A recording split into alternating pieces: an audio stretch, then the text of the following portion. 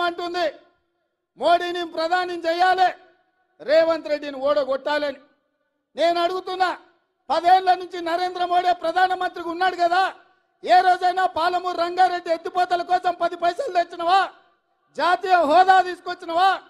మా మాదిగ బిడ్డల ఏబిసిడి వర్గీకరణ కోసం ఏ రోజైనా ప్రధానమంత్రిని కలిసినవా? మా ముదిరాజు బిడ్డలు డి గ్రూప్ నుంచి ఏ గ్రూప్ మార్పించడానికి మీ నాయకుడు నరేంద్ర మోడీ దగ్గరికి ఎప్పుడన్నా మా వాళ్ళను తీసుకెళ్ళినవా అని నేను అడుగుతున్నా.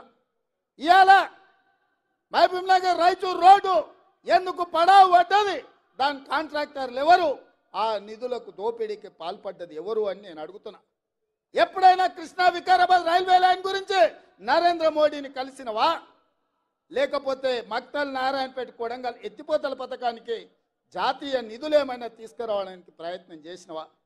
పదేళ్ళు నరేంద్ర మోడీ ఉండి పాలమూరుని ఎండబెట్టి ఈ ప్రాంత రైతులు ఈ ప్రాంత పేదలు లక్షలాదిగా వసలిపోతూ వలసలు పోతుంటే ఒక్కరోజు పట్టించుకోలేదు.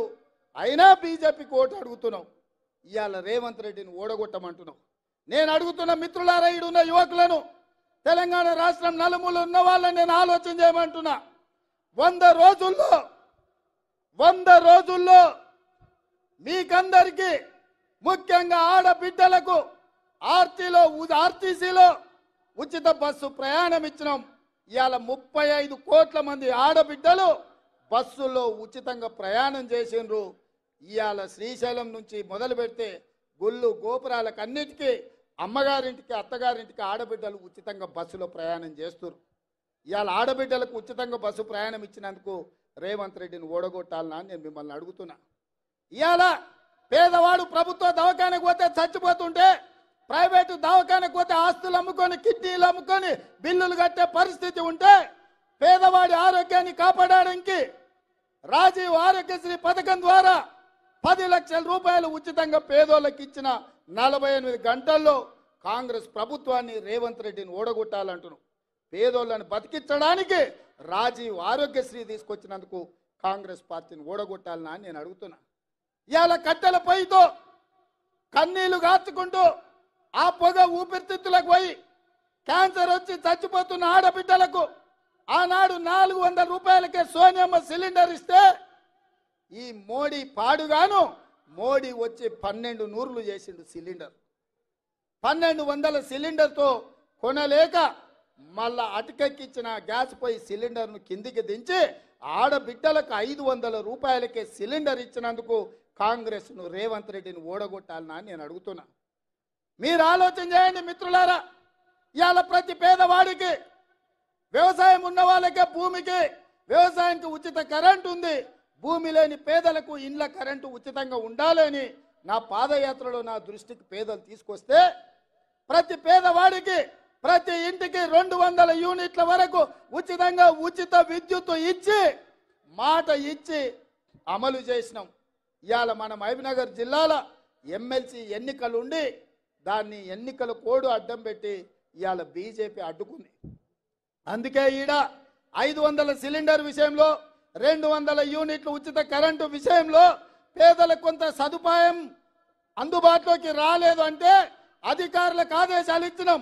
ఎన్నికల కోడ్ ముగిసిన వెంటనే వీటన్నిటిని మీకు అందించి మిమ్మల్ని ఆదుకునే బాధ్యత ఈ మహబీనగర్ జిల్లాలో నాది. ఎందుకంటే ఈ జిల్లా నాది ఈ మట్టి నాది ఈ గాలి నాది ఈ నీరు నాది నేను మీ బిడ్డను మీ కష్టం నా కష్టం అనుకొని వాటన్నిటిని అమలు చేసే బాధ్యత నాది.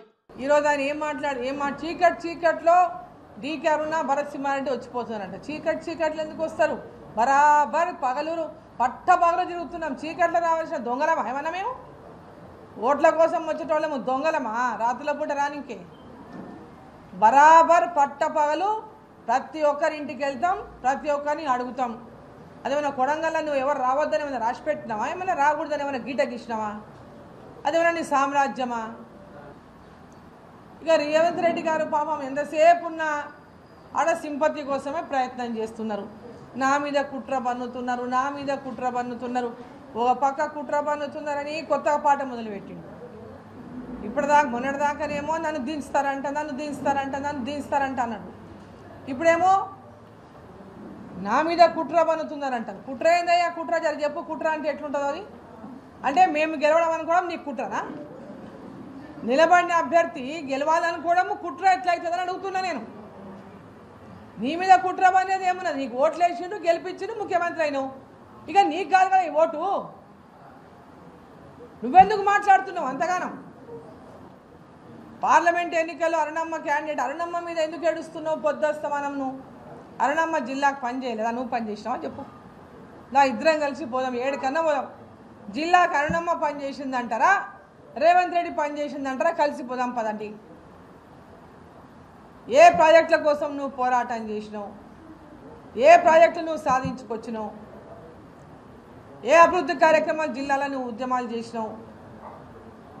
ఈరోజు ఏదైనా చెబితేనే నాకు కొంచెం అతకాలే. కాంగ్రెస్ పార్టీలో ఉన్న ప్రతి కార్యకర్త తెలుసు అరుణమ్మ ఏం చేసిందో పాలమూరు జిల్లాలో. ఈరోజు పార్టీ పరంగా ఎవరి అభిప్రాయం వాళ్ళకు ఉండొచ్చు.